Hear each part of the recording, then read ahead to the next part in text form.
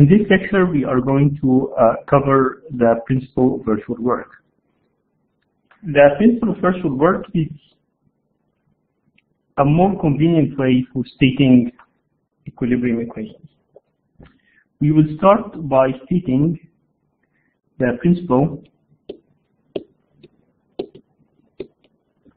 of virtual work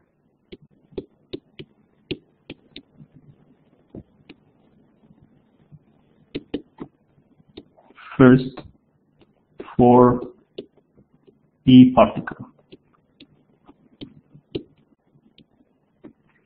So here is a particle and there are some forces that apply to that particle. Call this F1, call this F2, and call something like this F3. There can be many more. So Newton's Newton's second law, in the case of equilibrium, states that the sum of forces acting on the particle should be equal to zero. So what it states is that the sum of forces, the resultant force, which is essentially sum of Fi, where Fi are the different externally applied forces on the particle, is equal to zero. Okay, so in 3D, F has three components, in 2D, F has two components. So these are two equations that say, let's say if we're using a coordinate system x and y, that sum of x components of forces equals zero, and sum of x components of y components of forces also equals zero. Another way to state that a quantity is zero is to say that that quantity when multiplied by any arbitrary value would give a zero. This property holds only for zero. And as such, if we imagine, and we're talking here about purely imaginary displacement of the body, and that vector of displacement, because it is imaginary, we're going to call that delta u. Then if we multiply the dot product of f and delta u and if equilibrium holds, we get zero, regardless of the choice of delta U. So if equilibrium holds, then the work done by the resultant force on any arbitrarily small displacement of the body, delta U is equal to zero.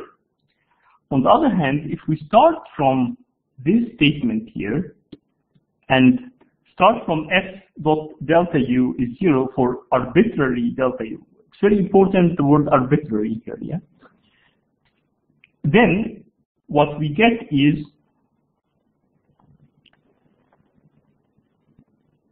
since delta u is arbitrary, we can always choose delta u to be proportional to a vector with components 1, 0, 0. So if we do the dot product, and equate to zero, of course, this is not a vector here. Yeah? Excuse me.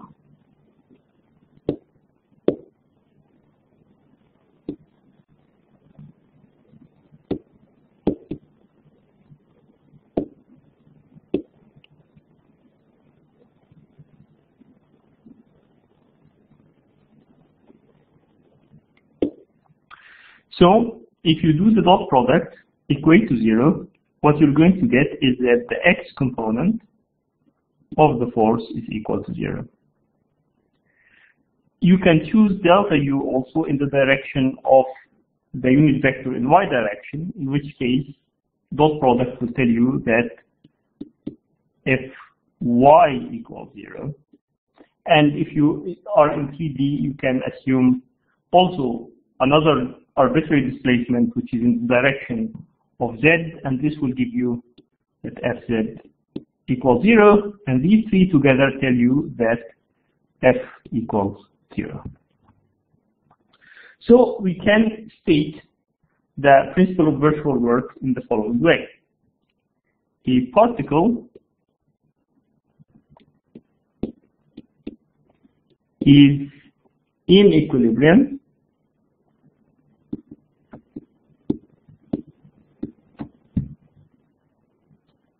under the action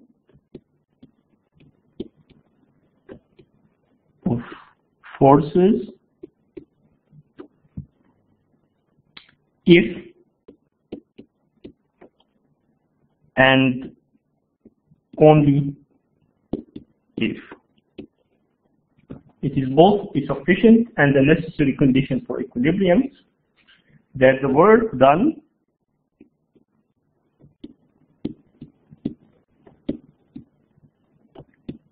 by the forces on any arbitrary virtual displacement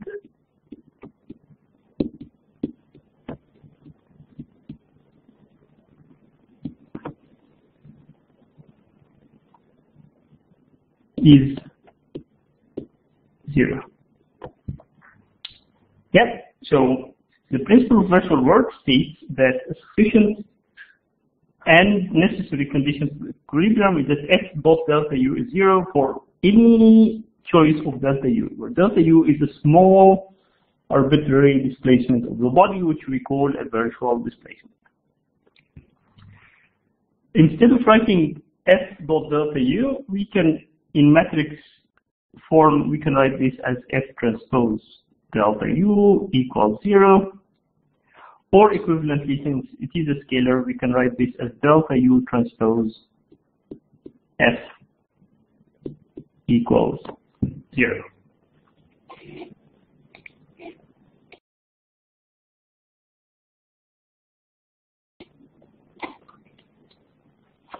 Now that we have the principle of virtual work for a single particle, we can start thinking about a system of particles.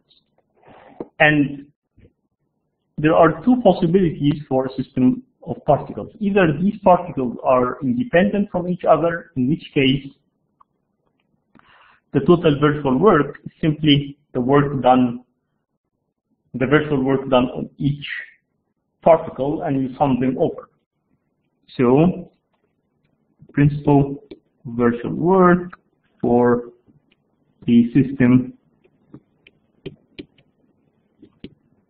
of particles.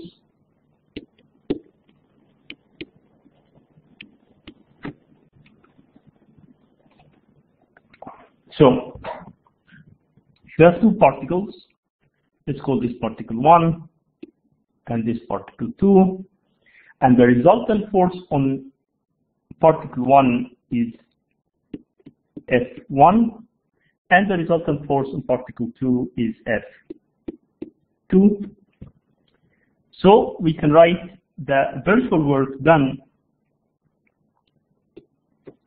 for the system of these two particles as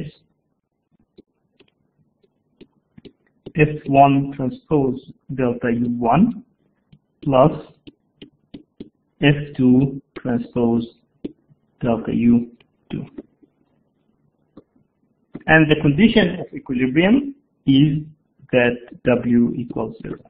So W is the virtual work of um, of the system. Of course, since these two particles are completely moving independently of each other, delta U1 is independent from delta U2. There is no relation between the two. And as such, we end up with the conditions of equilibrium will be F1 equals 0 and F2 equals 0. So the net force acting on each body, particle in the body is going to be 0. And this is a consequence of our assumption that these two bodies are independent, move independently from each other. So this is the first case. The second case is when the particles are constrained to move in a particular way with respect to each other. So the simplest thing is a rigid connection. So let's say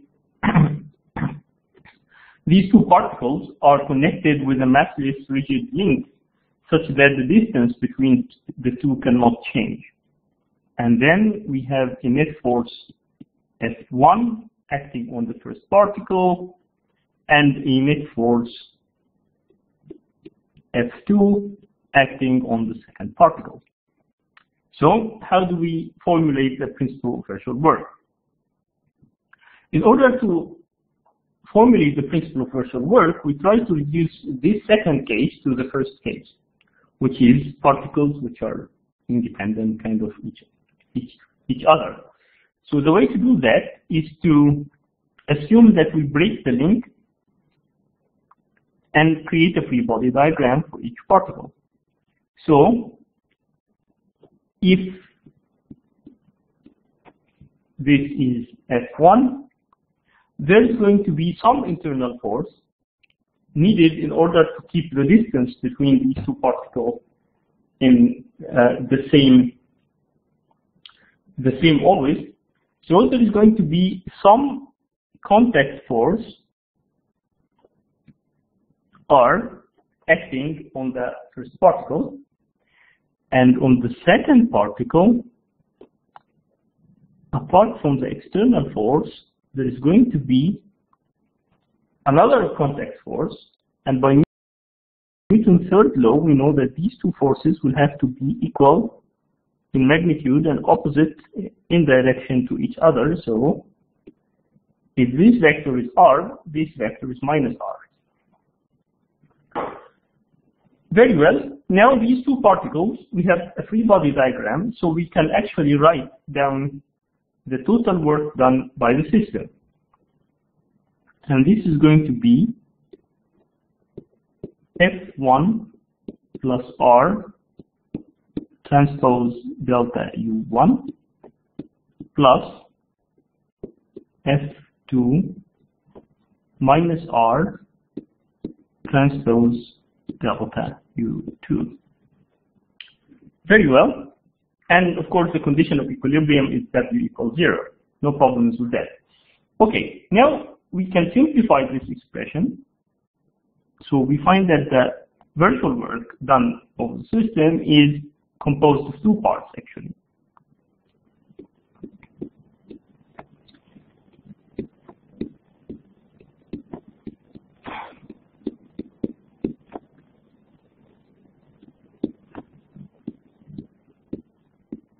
This is the first part, which is essentially identical to the case when the two particles were not connected and or constrained to be more precise.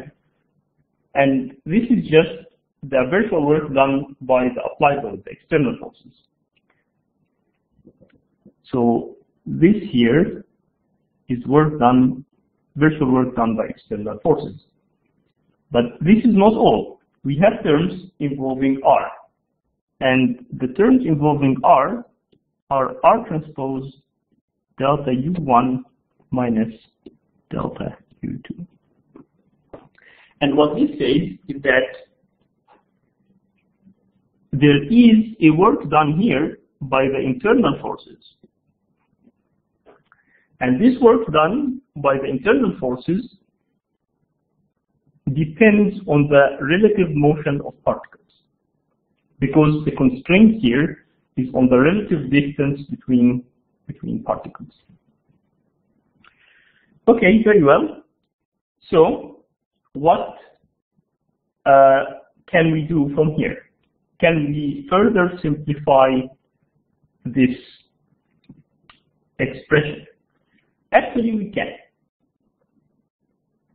But before we do that, we just consider another case of particles which are not connected by a rigid link but by an elastic spring. So let us say that you have a situation where you have an elastic spring K connecting two particles. And we start at such a position. So automatically, and of course there are some internal for external forces applied, F1 and F2. Again, you will see that the same free body diagram applies as in the first case, except that we know that R will have a very specific form, and that form is going to be that R is proportional to the relative motion in x direction. So R is going to be equal to K, where K is the spring uh, constant,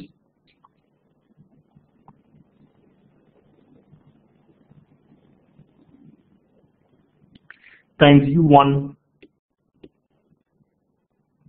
x, which is the x component, minus u2 x. And again, we will end up with the total work done. And of course, this is Rx and Ry equals 0. And the total work done again is R transpose delta U1 minus delta minus delta U2. Okay, so now let us consider the constraint case and see what happens. In the constraint case,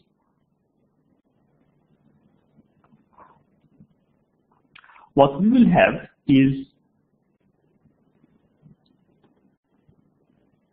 R transpose delta U1 minus delta U2. And we need to ask ourselves what this value simplifies to in the case of a rigid link. In the case of rigid link, to understand how it works, consider a roller support. And let's say that we have an x-axis in this direction and a y-axis in this direction. We know for the roller support that we only have a vertical reaction. And the reason for that is that the vertical displacement is always zero. So if you assume a vertical displacement of the roller, the vertical displacement in order to be compatible with the constraint will never have a non-zero vertical component. So the second component, which is a y component, will always be zero. So delta u in this case will always look like some constant in x, but zero in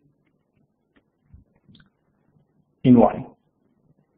On the other hand, the reaction force on the roller would always have a zero component in x and a non-zero component in in y. So if you take the dot product of the two, you will have that R transpose delta U equals zero.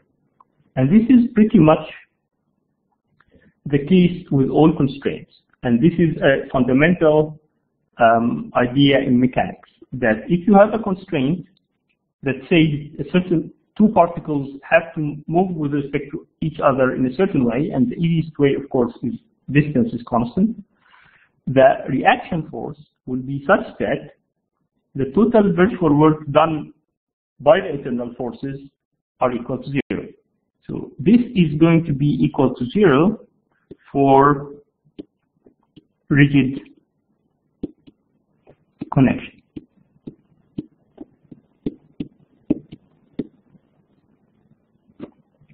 Yes? And just from there, we can easily deduce that R will be along the line connecting the two particles. If the virtual work is zero, then the only way this is going to happen is that R should be along the line connecting the two particles. So R is aligned with the line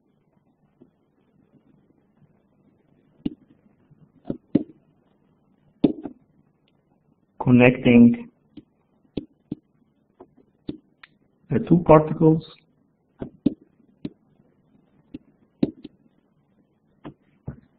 And delta U1 minus delta U2 has zero component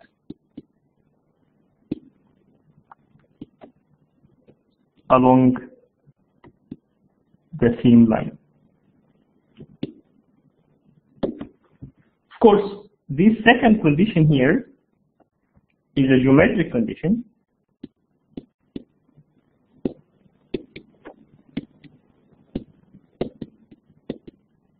And it comes from the fact that the length of the connecting line should not change if we induce small virtual displacements. And the only way that the length of the line wouldn't change is that the x component, if the two particles are aligned along x like this, the x displacement of the first particle and the second particle has to be equal. And as such, the relative motion in x is zero. And as such, but the relative motion in y can be non-zero. And as such, the only non-zero component of R, in order to satisfy that the internal work done by the internal constraint force is zero, is going to be in the y direction, in x direction. Because, so essentially, R will take the form R and zero, and delta U1 minus delta U2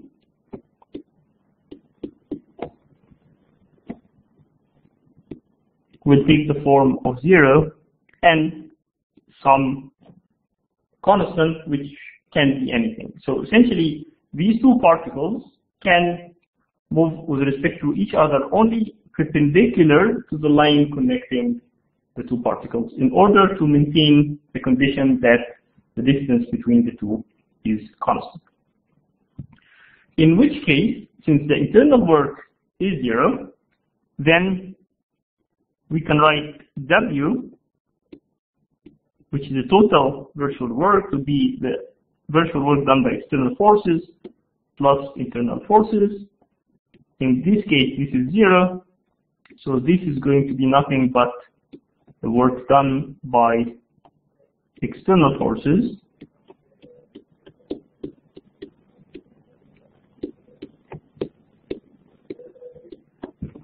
And this has to be zero. So what's the difference between this and the case of non-connected particles? The difference is that now, instead of having delta U1 and delta U2 completely arbitrary, so in 2D, we would have four arbitrary displacements, the x displacement of both particles is constrained to be the same, and as such, we have only three independent equations this time. So to sum up, in the most general case of the principle of virtual work, the total virtual work is the work done by external forces plus the work done by internal forces, the virtual work done by internal forces. Under displacements, virtual displacements delta U that satisfy bunch of conditions. The first condition is arbitrary.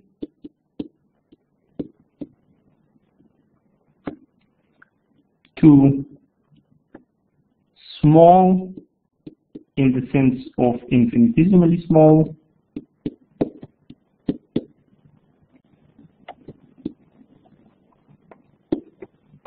And three, compatible with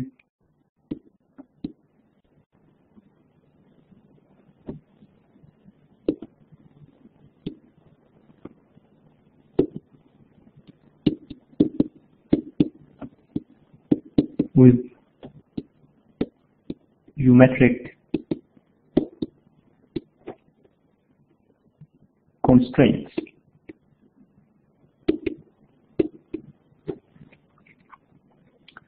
So, and for rigid bodies,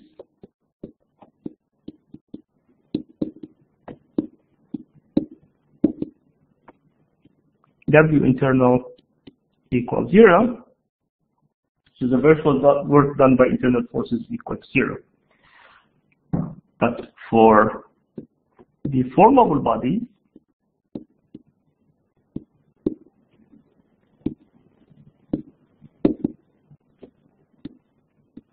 the work done by internal forces is not equal to is not equal to zero. And the condition of equilibrium is W equals zero. And this is again a sufficient and necessary condition for equilibrium.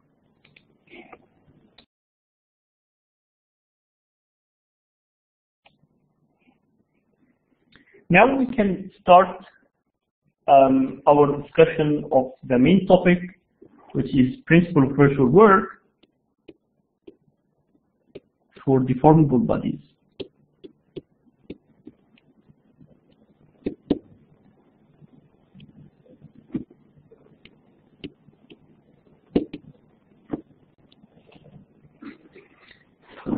And in order to derive the principle of virtual work for deformable bodies, we start from a certain body in equilibrium under a combination of forces. There will be some traction forces on the surface of the body. There will be certain regions of the surface of the body where the displacement is constrained. And there will be internal forces acting through the volume we describe the internal forces by a vector B, which is body force per unit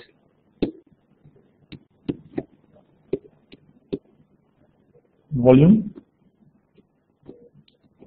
And we describe the surface loading by a traction distribution T, which is force per unit area. Okay, that's all very, very well. Okay, now we start moving Uh, forward and formulate the work done by the external forces. The work done by the body forces is going to be an integration if we call the domain of the body omega and the boundary of the body delta omega. So it would be integration over volume of B transpose delta U dV. It's very important to understand that the virtual displacement is not a displacement of the whole body. So it's not like we assume that the whole body moves up or down or left or right. No. What we do is we assume an arbitrary displacement of every particle in the body.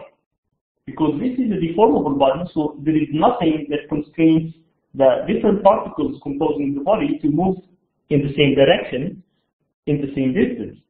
No, they can deform. The body can deform, so they can change their relative position. So delta U, in this case, is no longer a vector with three components, which are just arbitrary constants. No, this is a vector of three arbitrary functions. So at each point, we can have a different, a different value. And that's why we don't just find the net force due to the body force and multiply this by single delta U. Delta U is a function of space. It depends on the position of the particle. Okay. And what about the work done by the traction forces? Well, where displacement is constrained,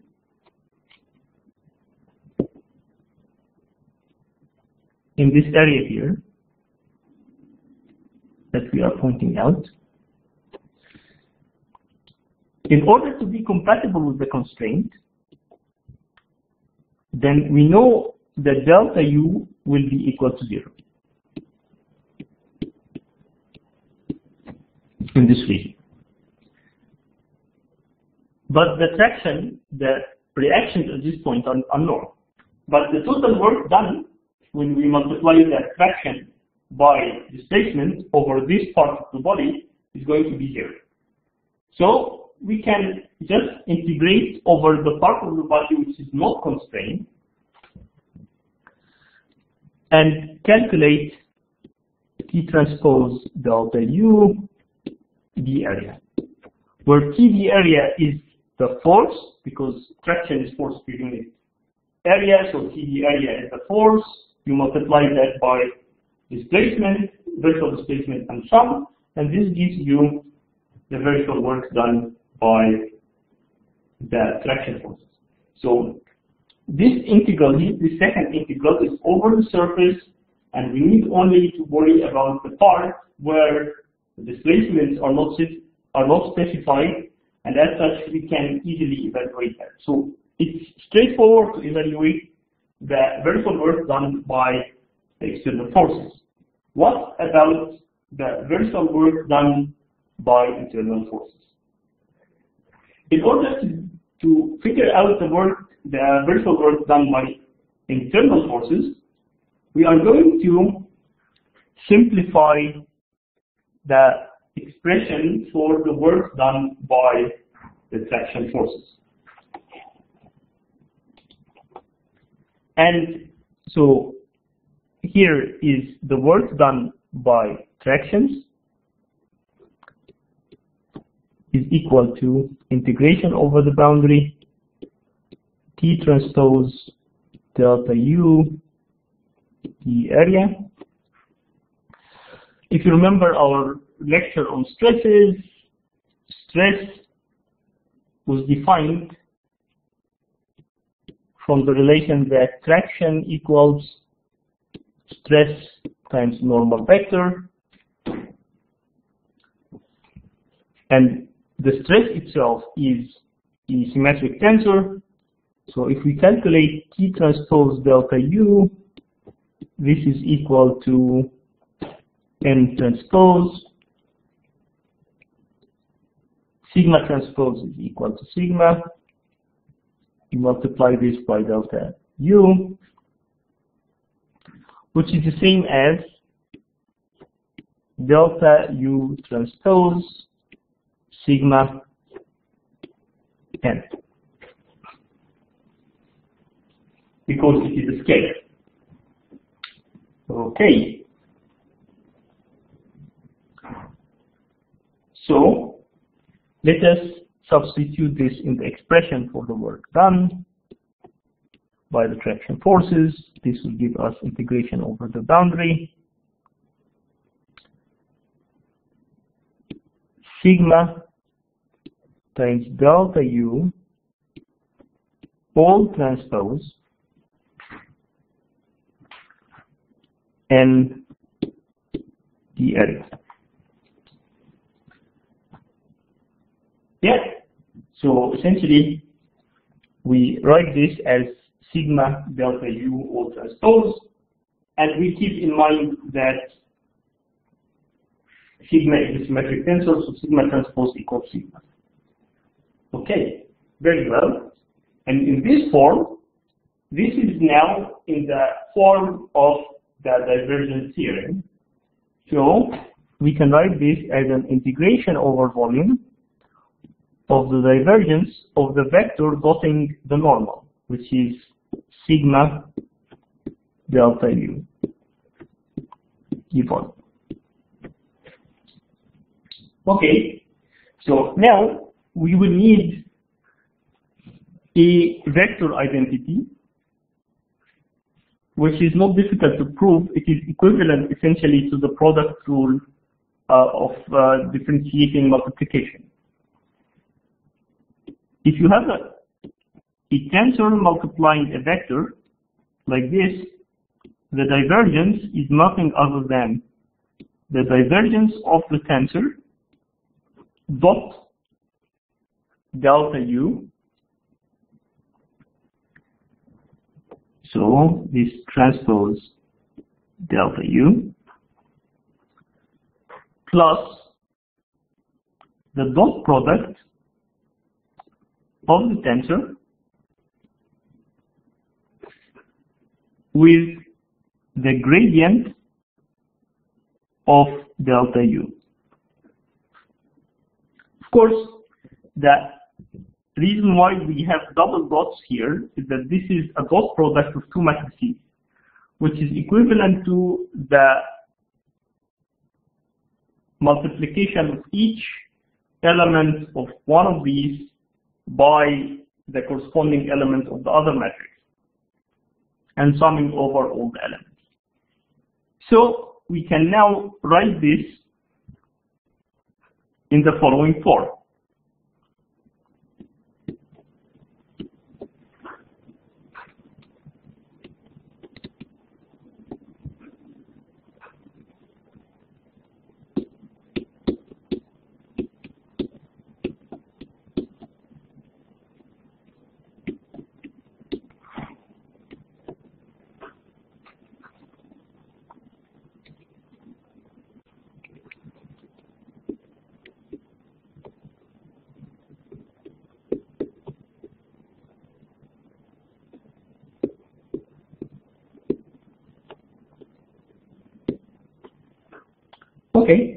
That's quite straightforward.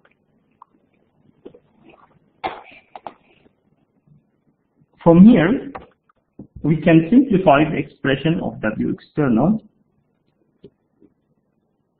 First, we add the work done by the volume forces plus the two terms representing the work done by traction forces, which is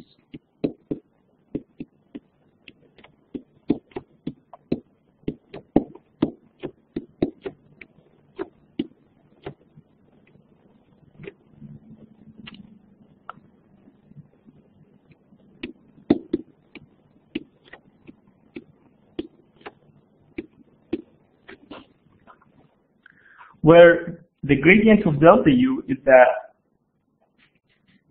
displacement gradient due to delta U. Now we can combine the first two terms together in the form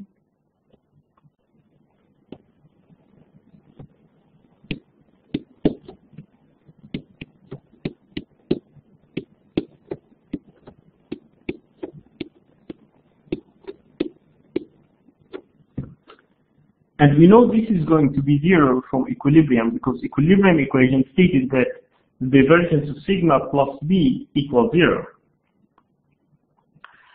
So in order to exploit such effect, we are going to move the last term to the left-hand side. So we end up writing that W external minus integration of sigma the gradient of delta u dv equals. And for equilibrium, we know this is going to be equal zero.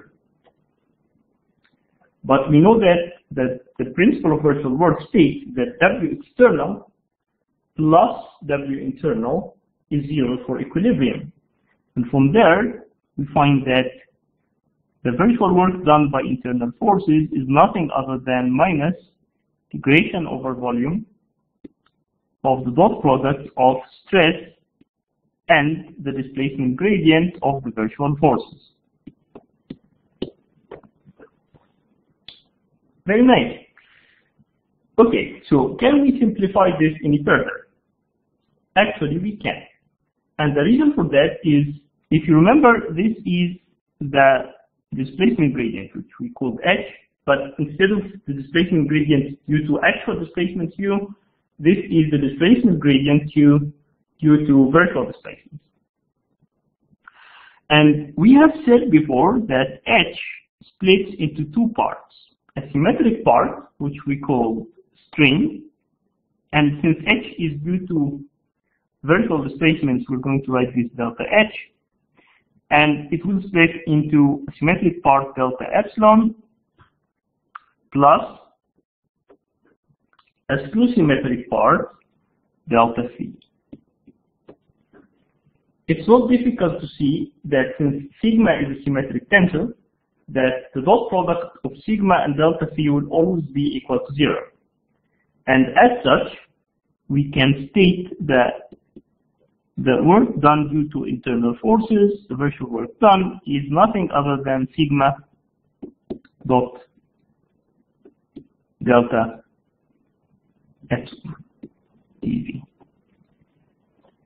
So we're talking about integration of stress times strain, but this time instead of stress times strain as scalars, stress times strain as tensors, with a minus sign over the volume of the body would give us that work done by the internal forces in the body.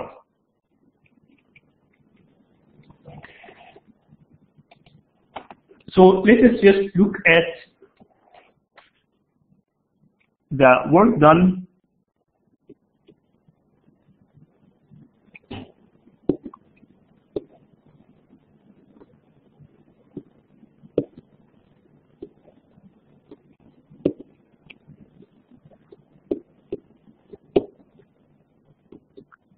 by internal forces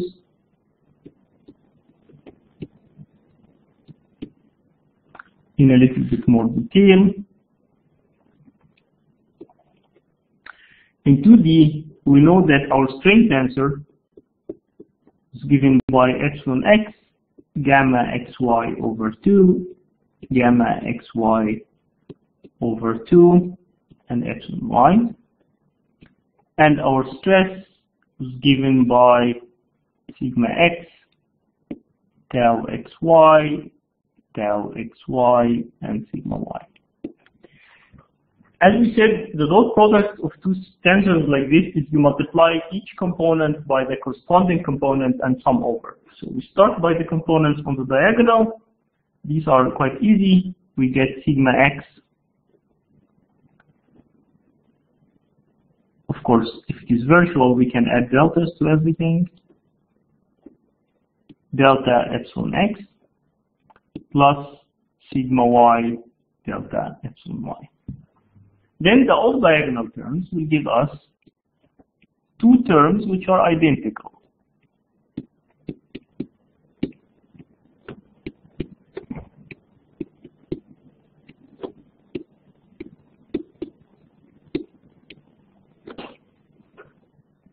So when you simplify, you will find that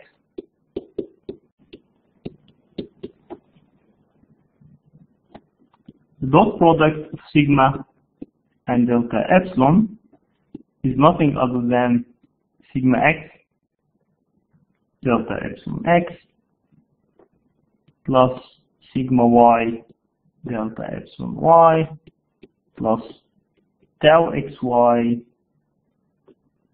delta gamma xy.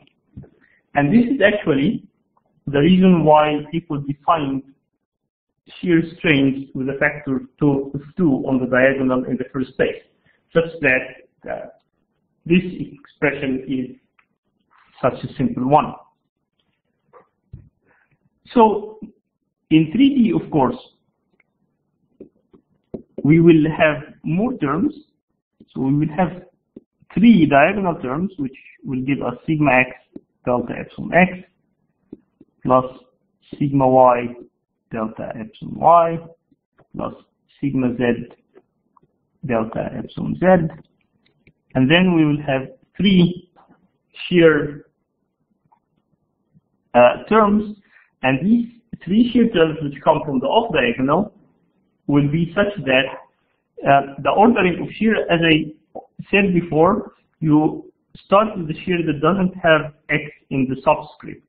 So you start from tau yz, delta gamma yz, then the shear that doesn't have y in the subscript, so tau xz, delta gamma xz, and finally tau xy, delta gamma.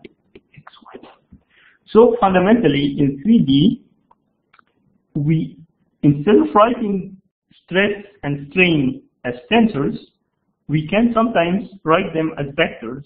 These are not physical vectors anymore, but it's just a matter of convenience for um, using matrix operations on stresses and, and strains. In which case, the stress vector will look like sigma x, sigma y, sigma z, tau yz, tau xz, and tau xy. And the strain vector is going to be epsilon x, epsilon y, epsilon z, gamma yz, gamma zx, which is xz, doesn't matter, and gamma xy. And the work done by internal forces will be minus integration sigma transpose times delta epsilon as a vector. And this is pretty much all what we need to know about uh, about virtual work. We are going to um, have some applications later in terms of plate theory and beam theory, but then um, the main thing to remember is that total virtual work is virtual work done by external forces plus internal forces, and the work done by internal forces is just an integration of sigma transpose delta epsilon over the volume with a minus sign.